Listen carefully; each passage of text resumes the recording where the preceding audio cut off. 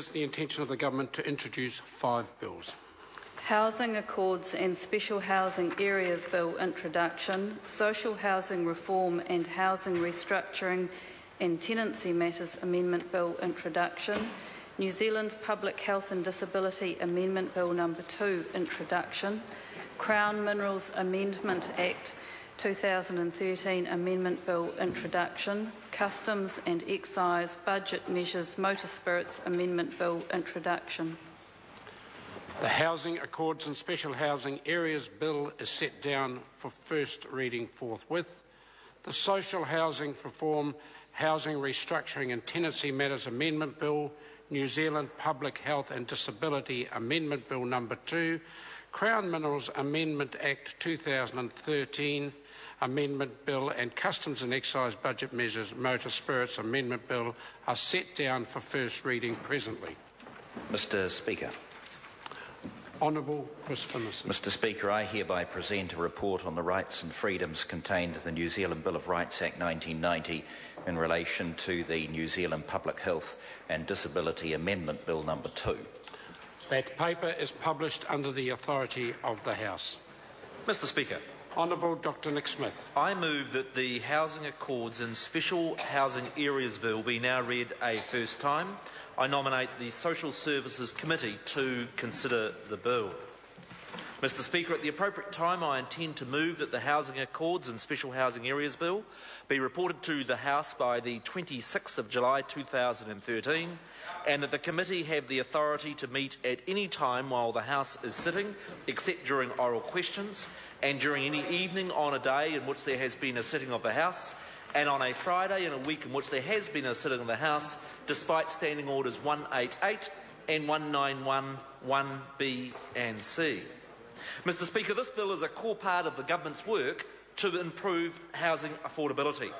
It confronts the reality that home ownership rates have been in decline for a quarter century, that house prices have soared unsustainably over the past decade, and that far too many families housing, whether to buy or whether to rent, is unaffordable. Mr Speaker, there is no silver bullet to this huge issue. It won't be solved with gimmicks or slogans, but with substantive, sound policies that address the real issues that are driving up house costs for New Zealanders. We have founded our housing work on the comprehensive report by the Productivity Commission produced last year. We are particularly focused on the issues of land supply being addressed in this bill. We've got work underway on infrastructure costs announced in February in respect of the review on development contributions. We've got work underway on materials costs with the inquiry that we announced at the weekend. We are taking, making changes to get compliance costs down. We are investing heavily in skills in this budget to improve the productivity of the residential construction sector. It also has to be acknowledged, Mr Speaker, that interest rates play a huge role in housing affordability and home ownership trends. Anybody who looks post World War II, it is very simple. Home ownership goes up when interest rates are low and down when interest rates are high. I am very proud to be part of a government with an exemplary record on interest rates, the lowest since I was in nappies in the mid 60s and we are determined to keep them as low for as long as possible. And that highlights the broad reason why we need this bill. We all know house prices are going silly, up 12% in Auckland in the last year. When it happened last decade, the government did nothing. The Reserve Bank wound up interest rates, up went the Kiwi dollar, and there was permanent damage to the New Zealand economy. This bill is about avoiding a repeat of that negative economic cycle. The message from the Reserve Bank, from the IMF, from the OECD, and from the Productivity Commission is that we must confront and address these land and housing supply issues. Some people are refusing to accept the link between rigid land supply policies and high house prices. I challenge them to look at the evidence we have seen the availability of sections in Auckland plummet over the past 10 years. And the price of a section has increased over the last five years from $100,000 to $325,000. The study by Motu showed that raw, undeveloped land in Auckland inside the MUL is 10 times the value of land outside the MUL.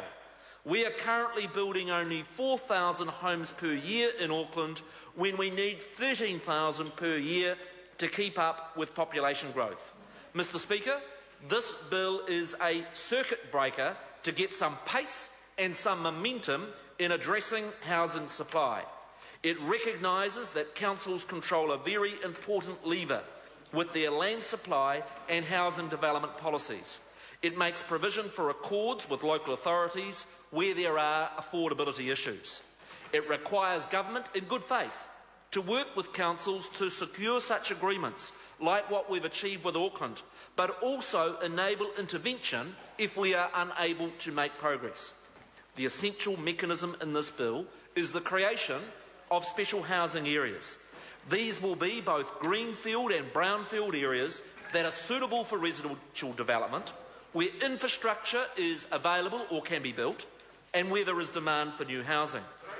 Within these areas, qualifying developments will be able to be approved on a streamlined process. There is a special limited notification process for only those affected. Council panels will be required to make a decision within six months on greenfields and within three months on brownfield developments. Mr Speaker, that compares with at the moment where it takes up and sometimes more than three years. In the Auckland context, this bill enables the Council to get some real progress in implementing its unitary plan in areas that are the least contentious. This is a 30 year plan for 400,000 homes.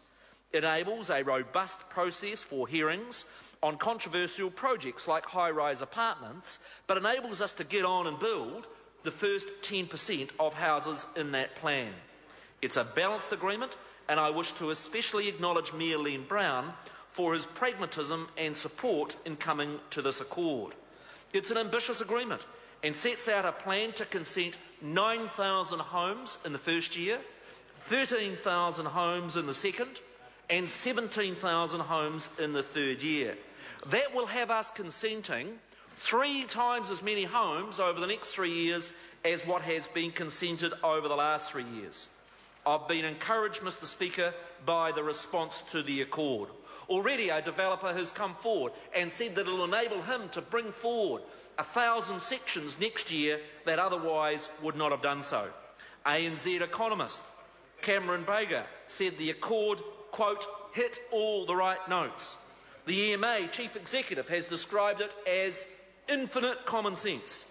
He says that it will unlock the logjams to getting houses built and that it's so refreshing to see Auckland Council and central government finding common ground on this difficult issue. The Accord is good news for households, it's good news for Auckland, and it's good news for New Zealand. Yeah, Enabling the development of 39,000 new homes will take the heat out of the Auckland housing market.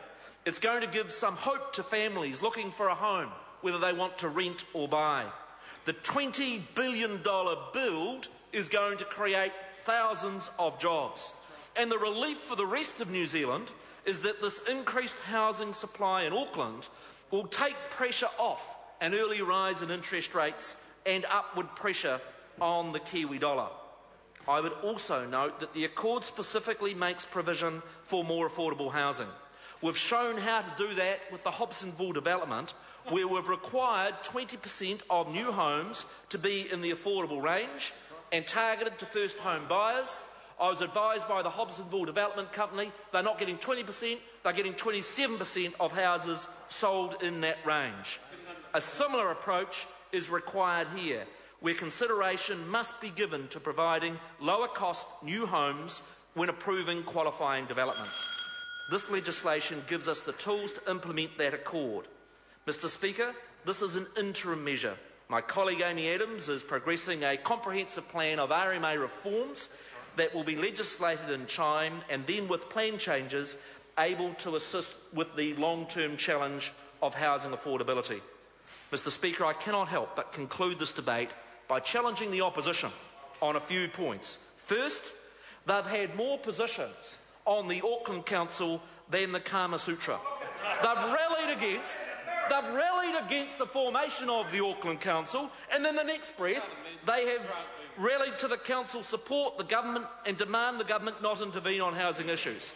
And now they oppose the accord that we've successfully come to the council. Secondly, they have consistently opposed any measures through RMA reform or in this bill to free up new land. I have a simple question for them. How can they promise Aucklanders tens of thousands of homes at $300,000 when the average section price in Auckland right now is $325,000? Now, the idea that the only way to build more affordable homes is for the government to build them is an idea they must have got from the same North Korean economics school that they got their electricity policy from. If they truly believe this nonsense, why stop nationalisation at the housing and the power sector? Let's have cheaper food by the government taking over all the supermarkets. Or cheaper cars by having the government buy them all for us. My greatest worry for homeowners, Mr Speaker, is what the Labour Greens policies will do for interest rates. Mr Speaker, sound economic management and a comprehensive approach to housing affordability in all those areas is the best way that we can make homes more affordable for New Zealanders. That's what this government is about, and I call on the House Sorry to to support interrupt the honourable this member. sensible bill. Mr Speaker. The question is that the motion be agreed Mr. to. Speaker. Phil Twyford. Thank you, Mr Speaker.